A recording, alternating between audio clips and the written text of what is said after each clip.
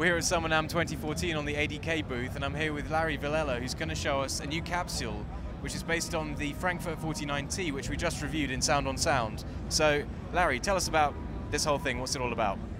Well, this would be the same capsule inside the 49T, but in our modular system, where the microphone uh, is actually a hybrid system where you can swap the capsule and the head amp we have uh, two and we will soon have a third head amp available for these capsules. So we've referenced four of the classic uh, greatest tube microphones of all time. This would be the fifth capsule uh, based on a, the 49 quote unquote.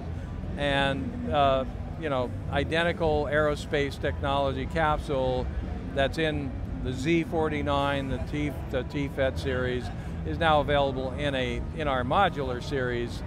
And this is a particularly good sounding capsule for brass instruments, for hissy tube cabinets, for any source that's overly bright that you're trying to get a sort of ribbon-like tone quality.